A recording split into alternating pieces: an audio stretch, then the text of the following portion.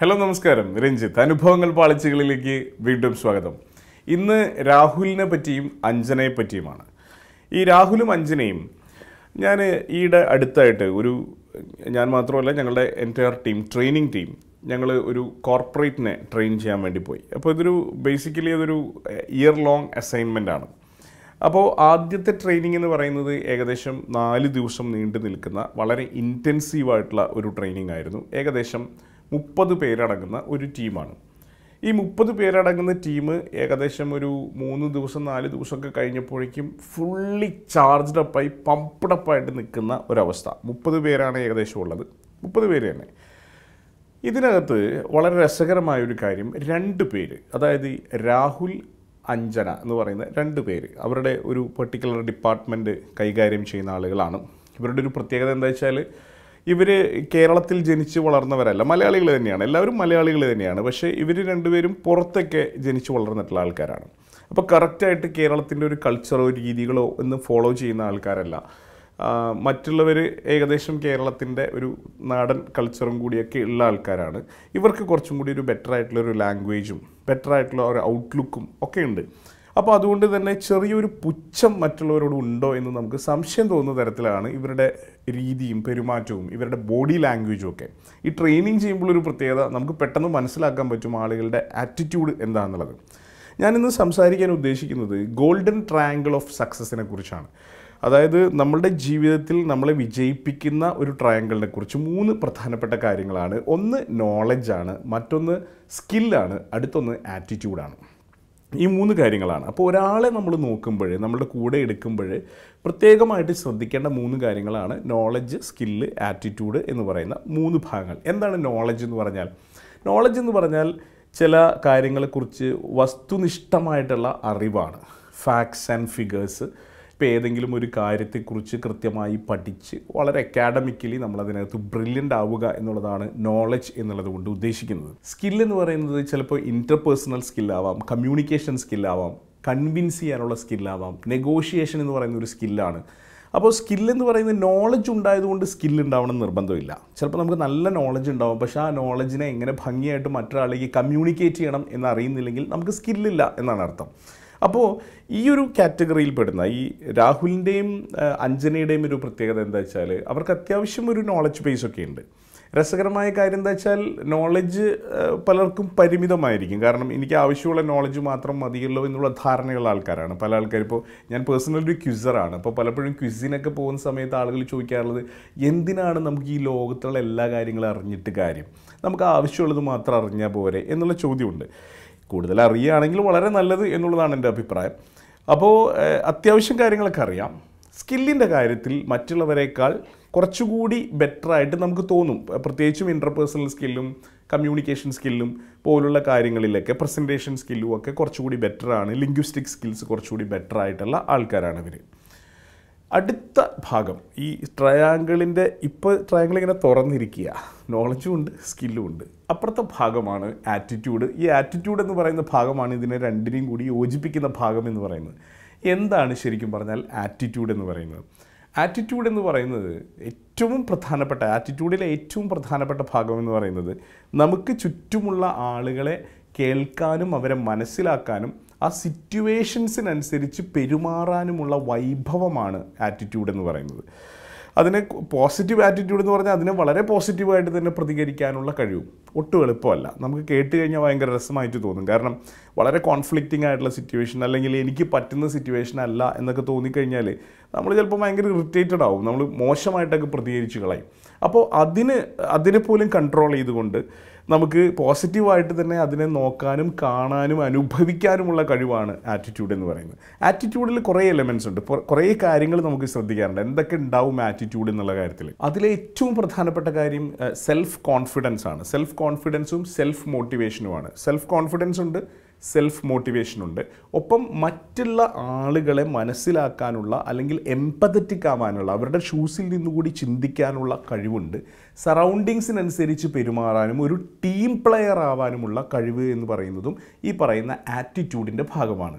അപ്പോൾ ആ ടീമിനകത്ത് പലതരത്തിലുള്ള ആളുകളുണ്ടാവാം. നല്ല കഴിവുള്ളവരുണ്ടാവാം. കഴിവ് നമ്മളെക്കാൾ വളരെയധികം കുറഞ്ഞവരുണ്ടാവാം.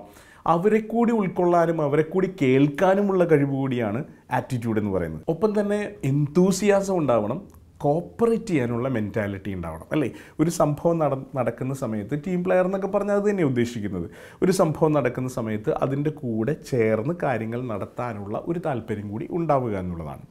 അപ്പോൾ ഈ ട്രെയിനിങ് നടക്കുന്ന സമയത്ത് ഈ ട്രെയിനിങ്ങിൽ ഏകദേശം ഒരു ദിവസമാണ് എന്റെ ട്രെയിനിങ് ഉണ്ടായിരുന്നത്. ബാക്കി മൂന്ന് ദിവസങ്ങളിലായിട്ട് നമ്മുടെ തന്നെ ഡിഫറെന്റ് ആയിട്ടുള്ള ട്രെയിനേഴ്സൊക്കെയാണ് ഇൻവോൾവ് ചെയ്യുന്നത്. നമ്മൾ പലപ്പോഴും ഒരുപാട് കോർപ്പറേറ്റ്സിന് വേണ്ടി ഇത്തരത്തിലുള്ള ഇയർ ലോങ് ആയിട്ടുള്ള ട്രെയിനിങ് അസൈൻമെന്റുകളും കലണ്ടറുകളും ഒക്കെ ചെയ്യുന്നുണ്ട്. അപ്പോൾ ഇവിടുത്തെ ഒരു പ്രത്യേകത എന്താ വെച്ചാൽ ഫസ്റ്റ് ഡേ എന്റെ ക്ലാസ് ആയിരുന്നു. അപ്പോൾ അന്ന് തന്നെ ഞാൻ നോട്ടീസ് ചെയ്തു. ഈ ഇരുപത്തെട്ട് പേരിൽ ഇവർ രണ്ടുപേരും കുറച്ച് ഡിഫറെന്റ് ആണ്. കറക്റ്റായിട്ടുള്ള ഒരു ഐ കോണ്ടാക്റ്റ് തരുന്നില്ല. ചില കാര്യങ്ങൾ പറയുമ്പോൾ അതിനകത്ത് അനാവശ്യമായിട്ടുള്ള ചില വാഗ്വാദങ്ങൾക്ക് വേണ്ടിയുള്ള ചില കാര്യങ്ങൾ ഉന്നയിക്കുന്നു.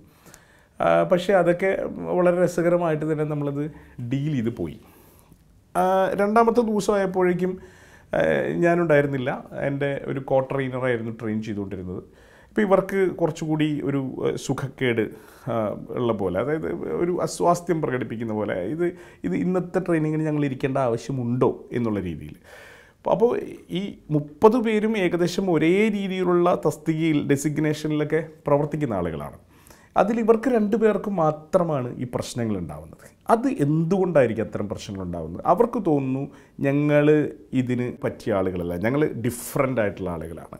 ഞങ്ങൾക്ക് വേണ്ടത് വേറെ എന്തോ ആണ് എന്നുള്ളൊരു തോന്നലാണ്. ഈ തോന്നൽ നമ്മുടെ സ്വന്തമായിട്ടുള്ള ചില അഹങ്കാരത്തിൽ നിന്നുണ്ടാവുന്നതാവാം മറ്റുള്ളവരെ ഇൻക്ലൂഡ് ചെയ്യാൻ പറ്റാത്തത് കൊണ്ട് സംഭവിക്കുന്നതാവാം. അവിടുത്തെ ടീം ആക്ടിവിറ്റികൾ പലതും ചെയ്യുമ്പോൾ ഇവർ പതുക്കെ മാറി നിൽക്കുന്നു. ഇവരുടെ ഇൻവോൾവ്മെന്റ് അതിനകത്ത് ഉണ്ടാവുന്നില്ല. ഏതൊരു കാര്യം ചെയ്യുമ്പോഴും നമ്മൾ അതിനകത്ത് പൂർണമായി ഇൻവോൾവ് ചെയ്യുമ്പോഴാണ് നമുക്കത് ആസ്വദിക്കാൻ കഴിയുക. അപ്പോൾ ഏതൊരു കാര്യത്തിനെയും പുറത്തു നിന്ന് അതിനെ സിനിക്കലായി കണ്ടാൽ അതായത് ഇത് നടക്കാനൊന്നും പോകുന്നില്ല എന്ന് നോക്കി കണ്ടു കഴിഞ്ഞാൽ ഓട്ടോമാറ്റിക്കലി നമുക്ക് ആ ഒരു പ്രോസസ്സ് എൻജോയ് ചെയ്യാൻ കഴിയില്ല. നമ്മുടെ ജോലിയാണെങ്കിൽ പോലും നമ്മൾ അതിനകത്ത് പൂർണമായി അലിഞ്ഞു ചേരാതെ നമുക്കത് എൻജോയ് ചെയ്യാൻ പറ്റില്ല എന്നുള്ളതാണ് വാസ്തവം. ചുരുക്കി പറഞ്ഞാൽ രണ്ടാമത്തെയും മൂന്നാമത്തെയും ഒക്കെ ദിവസം ഇവരുടെ ഇൻവോൾവ്മെന്റ് വളരെ കുറവാണ്. അൾട്ടിമേറ്റ്ലി എന്താ സംഭവിക്കുക?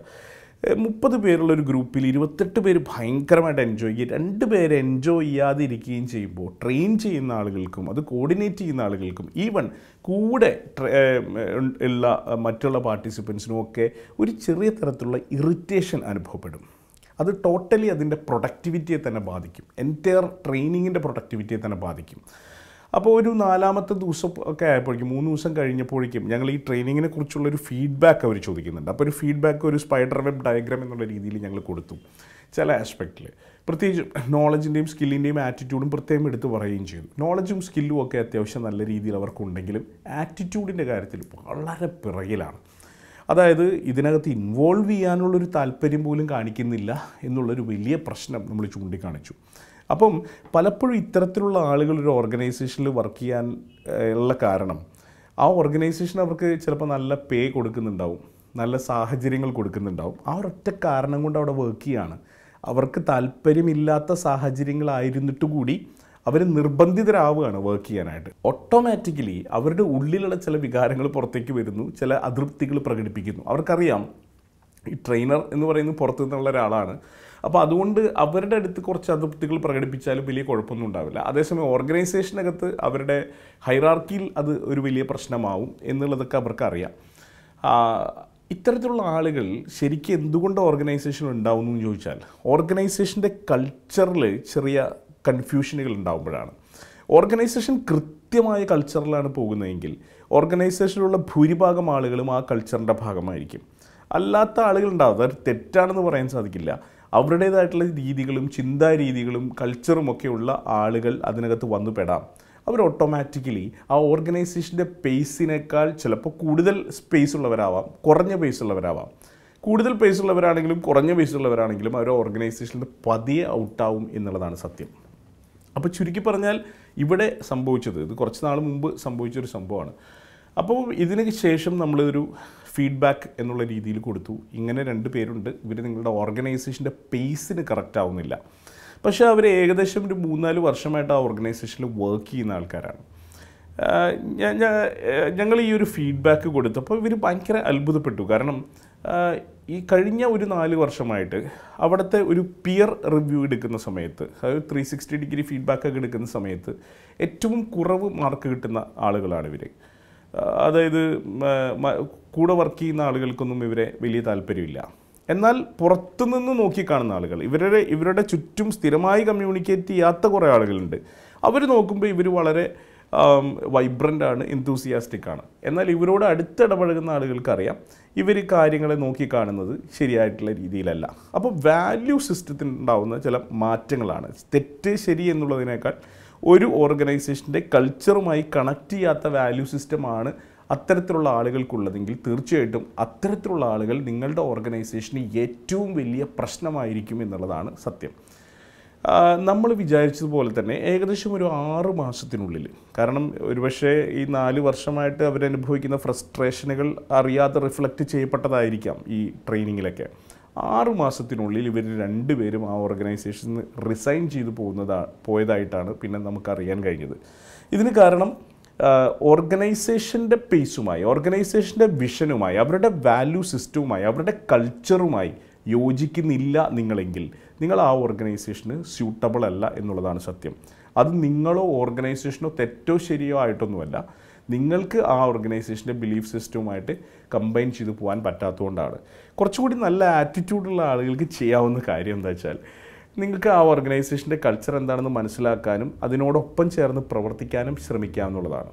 അപ്പോൾ ആറ്റിറ്റ്യൂഡിൽ ഒരു ചെറിയ ഇഷ്യൂ വരുമ്പോൾ ഓട്ടോമാറ്റിക്കലി നിങ്ങൾക്ക് ആ പേസുമായിട്ട് ചേർന്ന് പോകാൻ പ്രശ്നം വരികയും നിങ്ങൾ ഓട്ടോമാറ്റിക്കലി ആ സിസ്റ്റത്തിൽ നിന്ന് പുറത്താവുകയും ചെയ്യുന്നു.